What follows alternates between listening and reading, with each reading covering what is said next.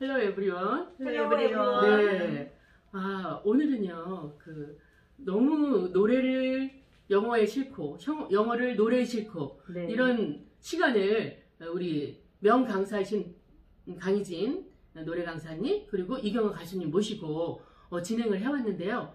이 너무 감사한 걸 어떻게 전할지 몰라서 이 장 박사님이 또 이렇게 초콜릿을 준비했습니다. 아, 화이트데이가 언제죠?